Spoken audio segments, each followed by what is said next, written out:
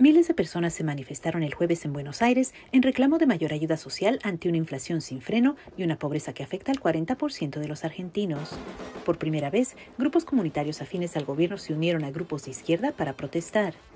Para muchos argentinos, pagar sus cuentas y llegar a fin de mes ha pasado a un segundo plano frente a un problema más básico, tener suficiente para comer. El alza de precios ha sido un problema en todo el mundo, pero Argentina ocupa el segundo lugar en la clasificación del Banco Mundial de países con mayor inflación alimentaria después del Líbano. Imagínate una inflación de más de 100% en Argentina, es impresionante la inflación. Eso te afecta en la leche, en los alimentos, en los lugares de estudio para poder comprar los apuntes. Cada vez que vas a comprar algo nuevo te aumenta. Argentina es segunda entre los países con mayor inflación de alimentos con un 107% anual, siguiendo al Líbano que registró 352% según un informe sobre seguridad alimentaria del Banco Mundial. No están disponibles los datos de Venezuela, el país con mayor alza del costo de vida de América Latina, seguido de Argentina.